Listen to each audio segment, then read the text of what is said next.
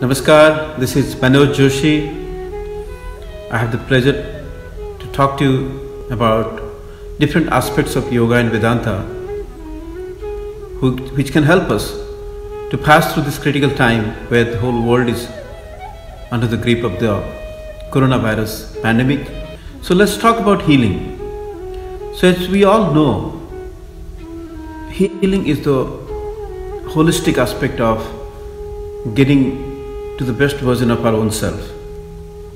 Like whatever way the nature had made us to start with, you know, healthy body, healthy mind, good thoughts, good spirit, original condition.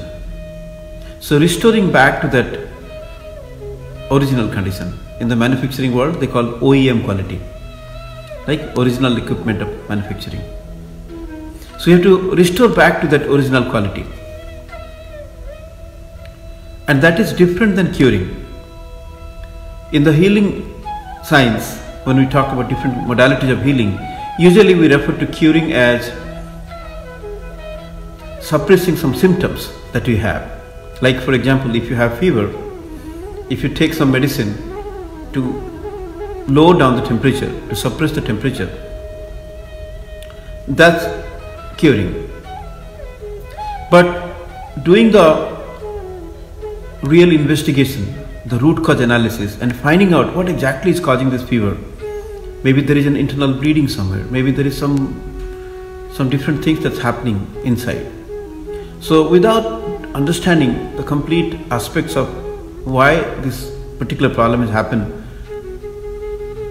we will be only doing a superficial, symptomatical or symptomatical curing. But healing refers to a holistic aspect of it. What refers to going to the root, doing the root cause analysis and finding out what is the root and then how we can take care of that. Like this reminds me of a story of a, a person who had uh, a well and a donkey.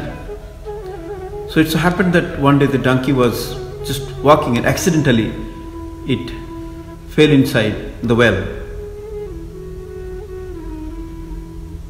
So it tried many times, the farmer tried many times to bring that donkey out of it.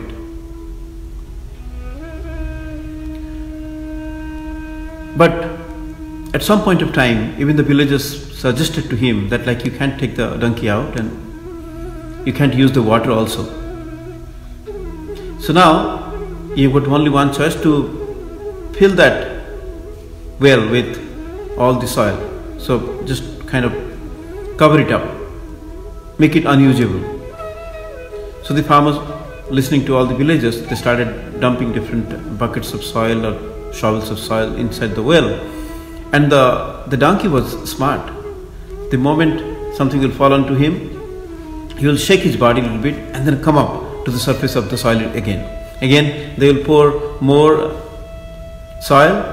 The donkey will shake up a little bit, take off all the dust from its body, and then again rise up. Again, they will put few more buckets of soil without knowing what's happening inside. The donkey will shake off a little bit and then come up. So it went on for quite some time, and suddenly the level of the soil became very closer to the ground, and then the donkey came out.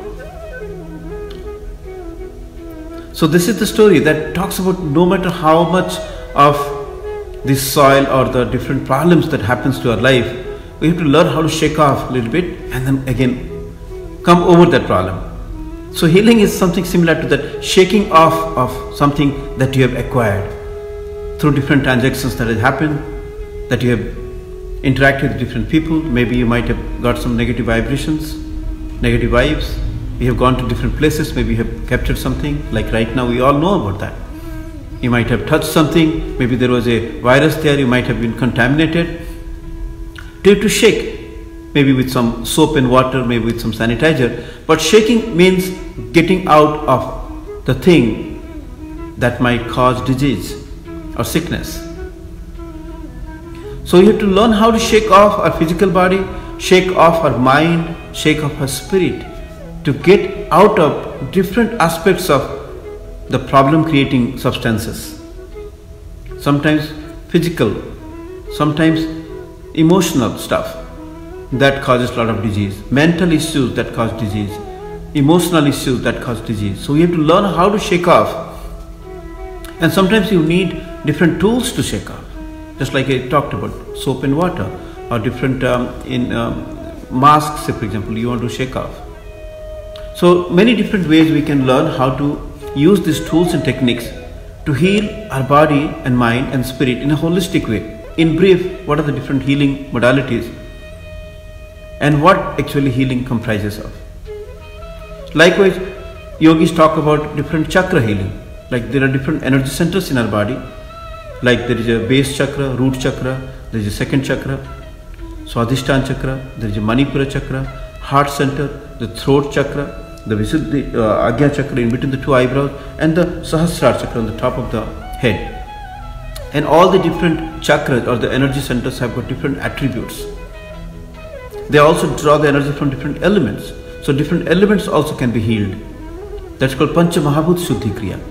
Pancha Mahabhut means we have earth element, water element, fire element, air element, and space element. Prithvi Tattva, Jala Tattva, Agni Tattva, Vayu Tattva, and Akasha Tattva.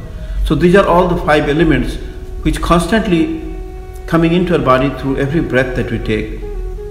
It creating different kind of chemicals, different hormones, different parts of our body, bones and flesh and different cells and tissues, all the different things that we are made up of are constantly getting created. So if there are impurities in those five elements, then we need to do some healing work on them. Ayurveda talks about three dosha, Vata, Pitta and Kapha, so which are also derivative of different of these five elements.